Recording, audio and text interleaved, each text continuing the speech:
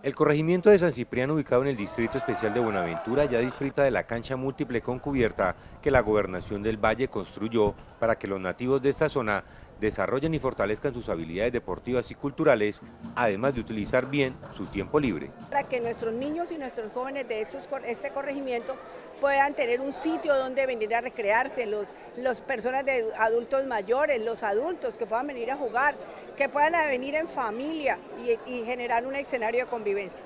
La obra se realizó gracias a los recursos gestionados por la Gobernación del Valle Antecol Deportes por más de 869 millones de pesos, creando 650 empleos directos e indirectos, muchos de los cuales fueron ocupados por habitantes del sector. Esta obra que se hizo nosotros la soñamos en un tiempo y hoy, gracias a ustedes, estamos viendo realidad. Nunca nadie nos había tenido en cuenta para ninguna obra y gracias a usted que de su corazón tan noble y tan bueno nos tuvo en cuenta para esta gran obra aquí en San Cipriano. Agradecimiento total, porque la verdad los niños están felices. Aún sin entregar esta obra, esos niños no descansan.